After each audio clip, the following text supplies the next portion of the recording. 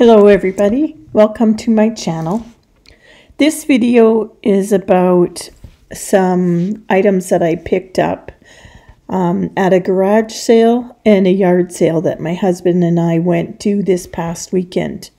I did not film at either place because there was a lot of people wandering around and I was just afraid that they wouldn't want to be on camera.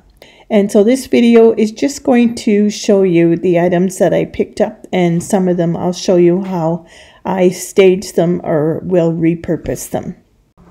So the first item I have to show you is just this Crown Vintage um, quart sealer.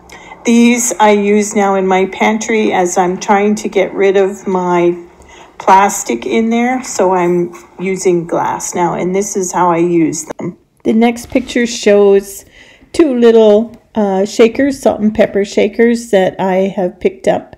I collect these little miniature salt and pepper shakers and I'm going to use them in my decor once I get enough of them done. This is a picture that I uh, showing the ones that I have collected so far and they're just in my buffet. And the next item I picked up is this little tiny vase. It's a weeping gold vase. It's only about two and a half inches tall, very cute. And this one says on the bottom that it is 22 karat gold, made in La Anna, Pennsylvania. And it looks like it's made by Holly Ross. It's a little bit blurry, so it's difficult to read. Then I found a couple more vintage kitchen items with red handles. I collect these and this is a picture of where I have them right now in my kitchen.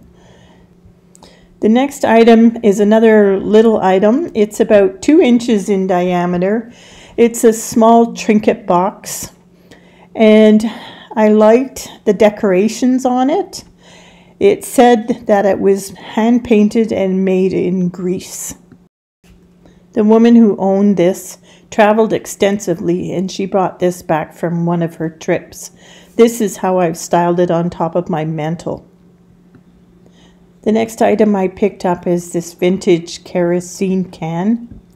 I styled this one outside as part of my decor, sitting on my patio with some other items.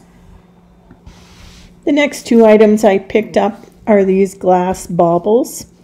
They're fairly large and fairly heavy. The round one is about four inches in diameter and the oblong one is about six inches long. So these ones I'm going to use in my fall decor and then in my Christmas decor because they match both. But for now, I just place them on my mantle until I decorate for fall. Then I picked up this wood carving the lady who had the garage sale, as I said, she traveled quite a bit. She told me she brought this back from Burma and it was quite old. She didn't know the exact age of it, but it was hand carved and even the pulley inside it is hand carved wood. So I thought that was quite interesting. This I plan to use on my gallery wall inside a frame.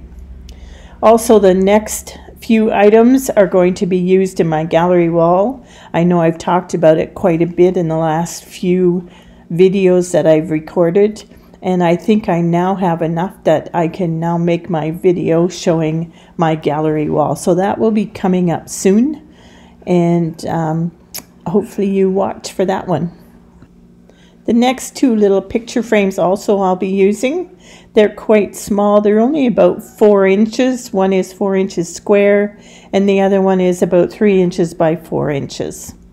They're vintage and I really like the look of them and I'm not even going to paint the gold. They'll match well with all the other items that I've picked up as well as this gold framed mirror.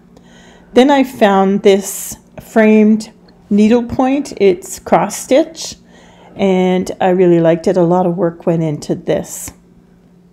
This next item is an original piece of artwork. It's an oil painting.